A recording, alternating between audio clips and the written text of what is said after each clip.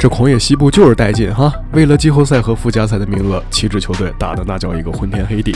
之前都以为遭遇魔鬼赛程的太阳会跌跌撞撞掉到附加赛区，没想到人家八场比赛赢了六场，成功来到西部第六，逃出升天了。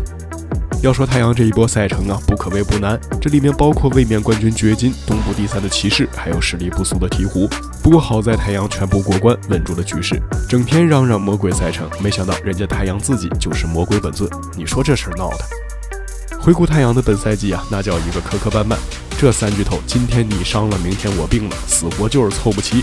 而且要说太阳球迷最犯愁的，莫过于输给马刺两场，输给雷霆一场。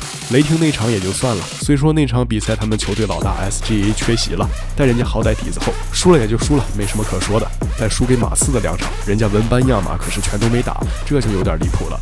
可能这就是所谓的战胜强队，帮他们找出问题；输给弱队，给他们重拾信心。咱主打的就是劫富济贫。